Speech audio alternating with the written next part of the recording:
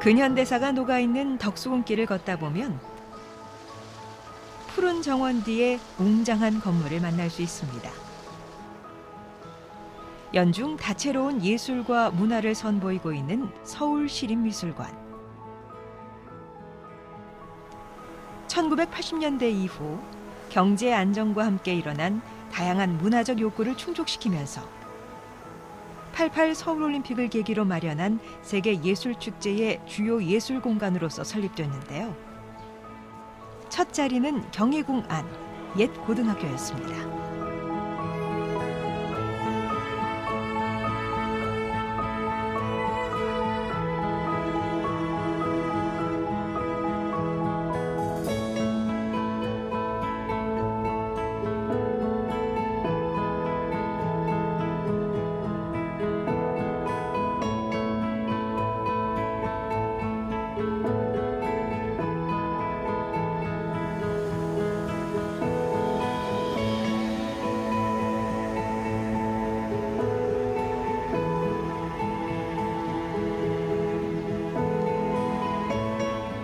서울시립미술관의 두 번째 집은 특별한 사연을 담고 있습니다. 조선 말 개화기에 세운 우리나라 최초의 근대식 재판소 평리원터에 일제가 새 건물을 지었죠.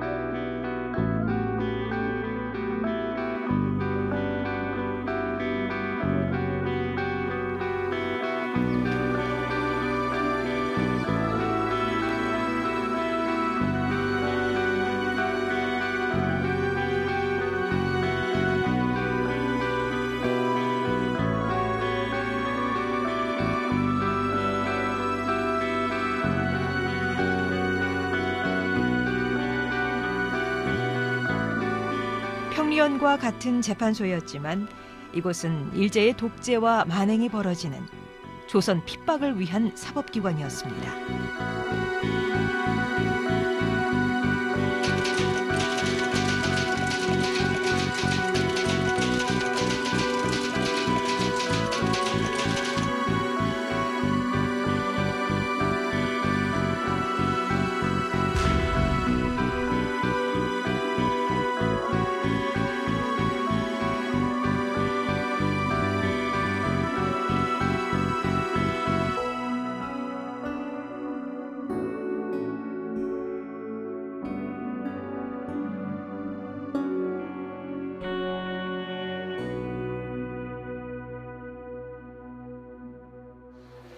독립운동이 더 이상 죄가 아니게 된 건 해방을 맞이하면서였습니다. 건물은 본 기능을 살려 대한민국의 대법원으로 쓰였고 이후 대법원이 서초동으로 이전함에 따라 2002년 큰 변화를 겪게 되는데요. 서울 시립미술관의 새 터전으로 탈바꿈하게 된 겁니다.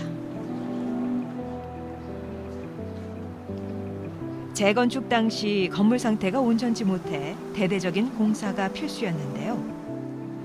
아치형 현관이 담긴 전면부만 보존하면서 오늘의 공간을 새롭게 이었습니다.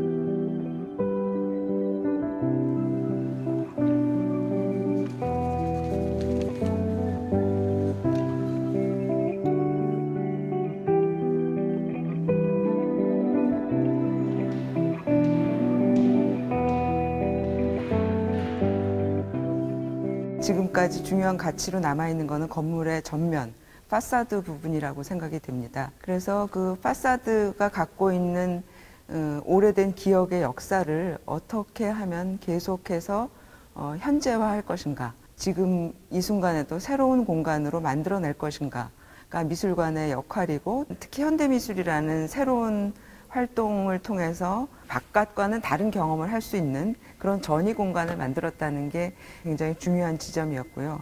건축과 관련된 소장품도 머지않는 장래에 볼 수 있을 것이라고 기대하고 그런 다양한 형태의 현재와 미래를 아우르는 미술관 소장품 전시를 준비하고 있습니다. 1988년에 설립된 이래 현재까지 매년 다채로운 문화의 향연이 펼쳐진 서울시립미술관은 그만큼 많은 시민들의 발길이 이어졌죠.